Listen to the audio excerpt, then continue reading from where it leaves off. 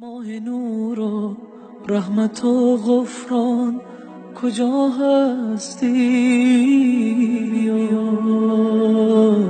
ماه شوق به نام خداوند بخشنده و مهربان.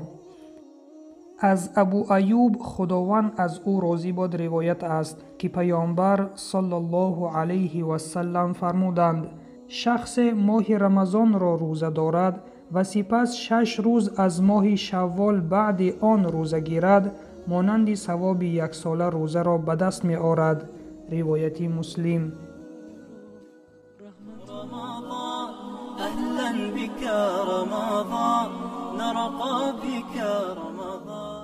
علما در شرح این حدیث می گویند ҳар шахси мусалмоне ки моҳи рамазонро бо ихлос рӯза бигирад ва сипас шаш рӯзи моҳи шавволро низ рӯза дорад савоби яксола рӯза доштанро мегирад.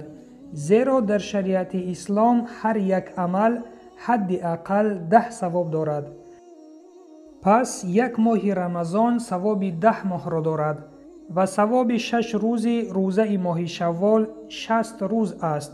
و با همین دوازده ماه کامل می شود روزه ماه شوال را انسان می تواند شش روز پی در پی دارد یا که علیحده یا می تواند روزهای دوشنبه و پنجشنبه آن را روزه گیرد. خلاصه پی در پی روزه داشتن در ماه شوال شرط نیست. مهم این که شش روز از ماه شوال روزه گیرد.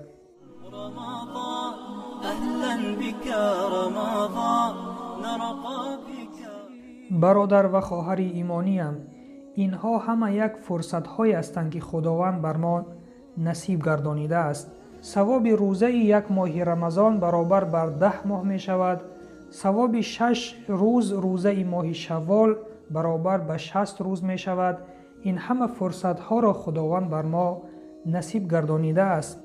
پس از این فرصت ها استفاده بریم. و سلام بر آن شخصانی که راهی هدایت را پیش گرفتند.